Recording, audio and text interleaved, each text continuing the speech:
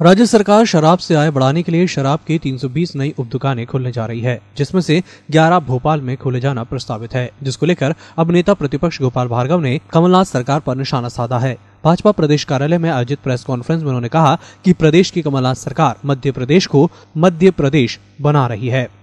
आज मुझे जानकारी मिली कि मध्य प्रदेश की शराब नीति ऐसी बन गई कि जिसमें गाँव गाँव में अब शराब बिकेगी, शराब की नदियाँ बहेंगी मध्य प्रदेश में। मध्य प्रदेश का नाम अब मध्य प्रदेश के रूप में मतलब मद्रा प्रदेश के रूप में पूरे देश में जाना जाएगा। अपने आप में बहुत आप भोपाल से ईएमएस टीवी के लिए कैमरामैन टैनी खान के साथ आकाश, सोनी की रिपोर्ट।